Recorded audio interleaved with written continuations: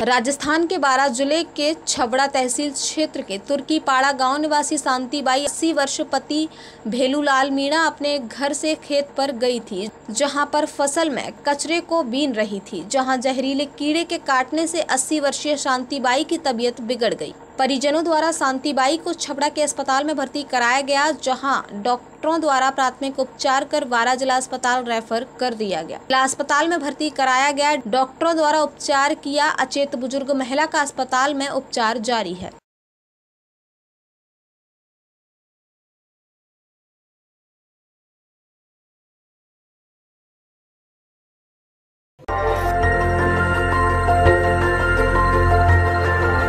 देखते रहिए डीबी भारती समाचार। नज़र हर खबर।